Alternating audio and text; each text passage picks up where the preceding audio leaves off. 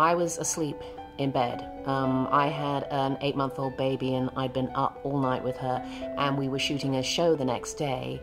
Um, my call time wasn't until 12 noon, so my husband kindly took the baby to make her breakfast. And I just remember the phone ringing at 7 o'clock in the morning and waking me up. And I, I thought, who could be ringing at 7 o'clock? I know I'm working. Um, and it was my mother in law who was going to accompany me to work with my daughter and look after her while I was filming. And she said, I don't think we're going to work today.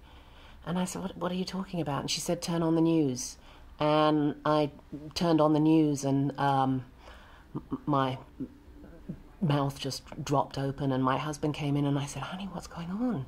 You know, um, it took so long to sort of register um, what was actually going on, and that now by the time I was caught up with it all, that it clearly was an act of terrorism and not just some horrible accident. Um, and I think my husband got a call to say that we wouldn't be going to work today. And then he said something really strange to me. He said, um, with all those thousands of people, um, we're bound to know someone. And I was sort of taken aback because it was very unlike my husband to say something like that because he's like Mr. Positive. And I went into sort of survival mode and thought I'd better go to the supermarket and stock up on, on stuff.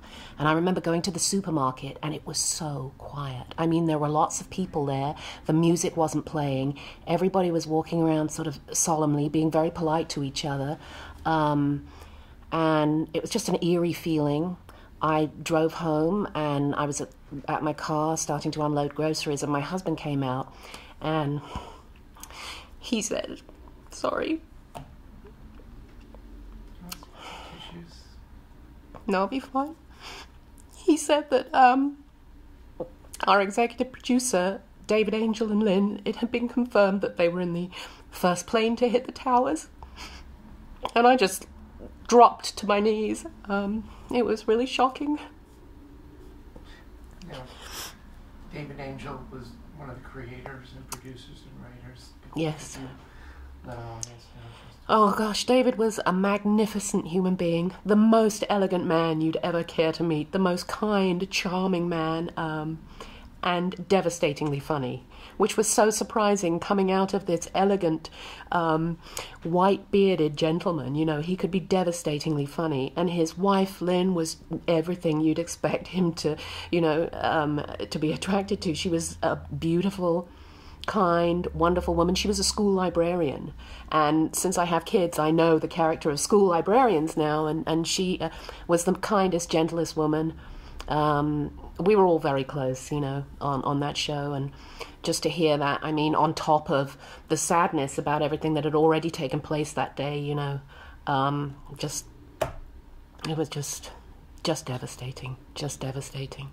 Um, and then I remember spending just the rest of the day um, on the phone with uh, various cast members and producers, and we were just trying to all console each other and try to actually believe this had happened. To it, it was such a, a shocking thing, and I, I, I it, it you know, just so gut wrenching. I think the whole nation was in a, a, a state of post traumatic stress disorder for a long time afterwards. Yeah, absolutely. Yeah.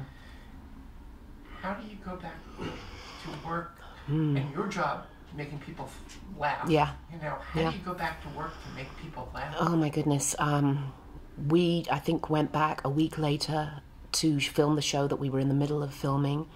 Um, we had a memorial service for David and Lynn at Paramount, which, um, although didn't heal us, made us feel a lot better. People shared stories. Um, it was at the Paramount Theatre, and I, I just remember people coming in sobbing and leaving with uh, feeling lighter again and sort of feeling a little bit okay about things. And uh, I remember the first day going back to work, we thought, how how is this possible? How are we going to um, have an audience in here tonight? How are we going to um, tell jokes and be funny? And um, and David Hyde Pierce uh, had received a letter from a friend saying that he and his wife had been watching Frasier the night before and had realized they were laughing um, for the first time in a long time, and how important that was, and how important what we were doing was to, um, you know, to people to, to help them heal.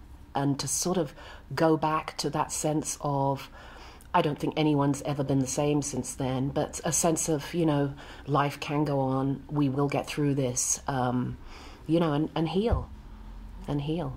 It's, it's hard for the people who are trying to get through it. It's it very, very tough, you know, and I, I don't think I turned my, I don't think I ever turned my television off that first uh, few days because I just was, I just wanted information. I just wanted to know we were safe. I, you know, I, I felt if I if I turned the TV off, I would miss something. I would miss, um, you know, some sort of warning or, you know, I think we were all in just uh, uh, so shaky about everything.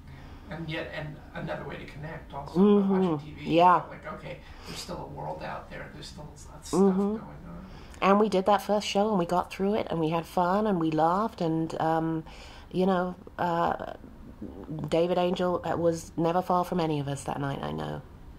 the the hole that was left with the loss of David and Lynn didn't just affect us. Um, they uh, never had children of their own, but you found out all these amazing things about them uh, after they died. The um, they they would uh, take young foster girls and set them up in their first apartments and buy them sheets and towels and saucepans and all the things they needed to start their lives. Um, and that's just one of the many, many great things that they quietly did that we didn't know about.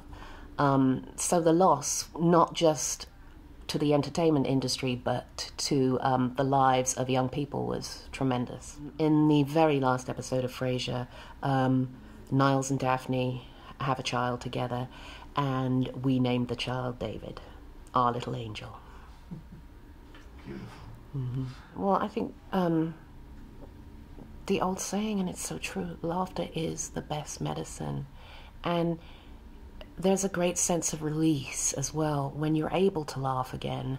Um, I've known people with bad illnesses, you know, and they say the thing that helped them heal the most is is the you know to surround themselves with laughter and fun. Um, and um, you know, I mean, we always say we're not curing cancer here, we're entertainers. But I think after 9 11, it really showed us that we do have a place, you know, and we cannot discount the importance of what we do to the lives of people sometimes, you know. Um, as I say, if you can make someone laugh and feel better, it's, it's a great thing It's great for the endorphins.